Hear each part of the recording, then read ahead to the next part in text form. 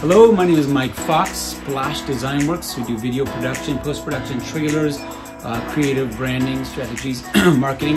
Me and my family, we're actors, voiceover actors, and creative peeps all around. But I wanted to give you this, this, this quick video on some tips and thoughts on trailers. Uh, I've seen a lot of trailers and I uh, just want to give you some feedback. Maybe it'll help for those that are doing it yourselves or, you know, if you're ready to hire, let us know. But here's a few things that I saw. On some trailers that I've seen, there is too much dialogue and there's a lot of like dead space. So I want you to think of a trailer as, uh, as a TV show that's catering to kids.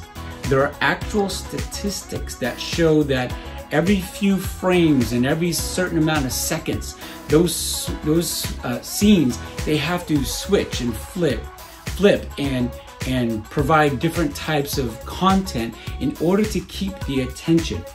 That's what a trailer is.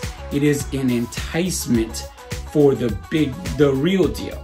Uh, and so if you have a lot of dialogue, a lot of dead space, or just a lot of uh, talking in general, especially when it comes to talking or dialogue without any kind of underlying score, music, audio, or anything like that, or effects or anything, it's just it's going to be ineffective. So think of it as a fast-paced high energetic very condensed quick storyline that that switches scene to scene to scene to scene creating an intense storyline.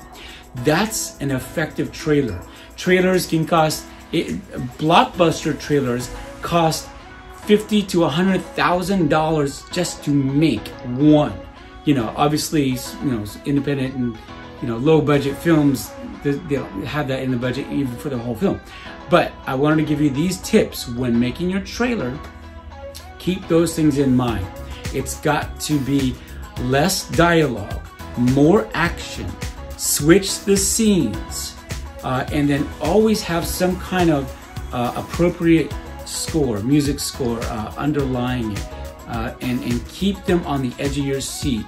Tell the story and have them wanting to see you know the result of the problem. Don't give them the problem. Always give them is it going to work out? Will they repair their lives you know or whatever?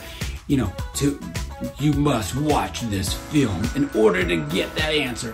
You know so anyways this is mike fox splash designworks hopefully giving you a few little tips to help uh, on your trailers.